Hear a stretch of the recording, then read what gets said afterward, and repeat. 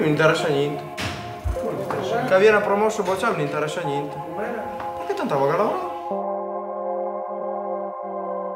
Abbiamo iniziato un po' a perlustrare la zona e abbiamo scoperto Goro, abbiamo scoperto Gorino e da lì quella forse è stata la prima suggestione, eh, una sensazione di eh, una comunità probabilmente eh, un po' isolata, con delle caratteristiche estremamente eh, puntuali, eh, completamente, quasi esclusivamente dedicata alla pesca delle vongole.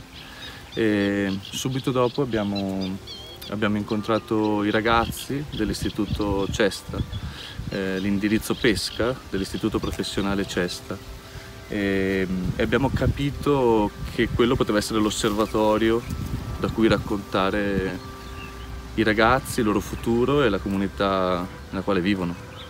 Eh, abbiamo cercato di concentrare dei momenti lunghi, venire qua per tanti giorni in modo da dare il tempo ai ragazzi di conoscerci, eh, di abituarsi alla telecamera, ehm, di approcciare distanze diverse no? anche nel modo in cui li guardavamo. E, e poi eh, siamo stati, abbiamo provato e man mano con alcuni di loro in particolare che sono cresciuti e sono diventati i veri e propri protagonisti del documentario a passare del tempo dentro e fuori eh, l'ambito scolastico.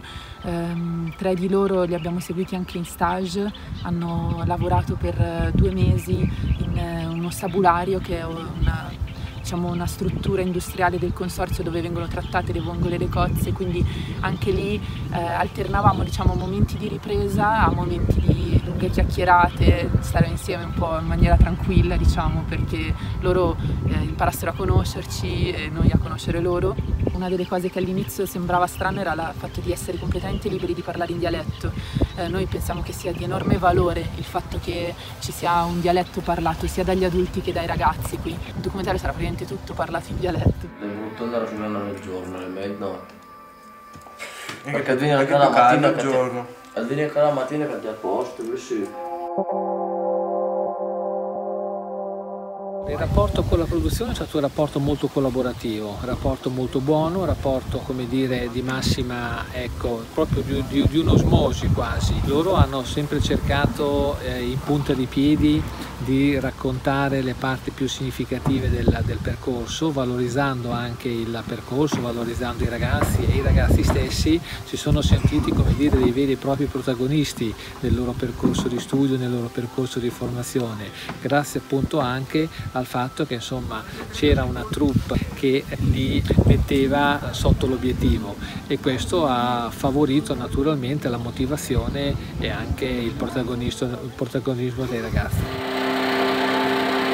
Il documentario eh, ho visto anche i ragazzi, li hanno preso bene, insomma siamo contenti de, de, de, anche per far vedere nostre, la nostra vita, insomma per me è un'opportunità per i ragazzi farsi vedere anche in un documentario dove, dove svolgono le loro attività di, di, di, apprendimento anche in questo caso.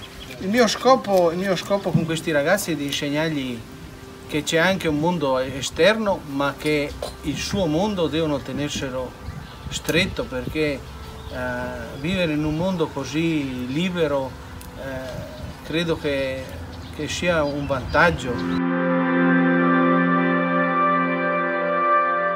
Io abito a Goro, in provincia di Ferrara. Ho scelto questa scuola perché diciamo, il mio futuro lavoro mi porterà a questo, quindi stare a contatto con l'ambiente, con il mare. quindi mi sembrava giusto imparare a, a, fare due nodi e a cucire una rete. Allora, l'inizio è stato difficile, cioè più che, strano più che altro, perché non è da tutti i giorni avere le telecamere puntate addosso, quindi un po' di timore, magari non essere come sei nella vita di tutti i giorni, però dopo un po' ci si abitua. Vivere in queste zone è bello perché sei a contatto con l'ambiente tutti i giorni e non, non si smette mai di imparare con, con questo lavoro.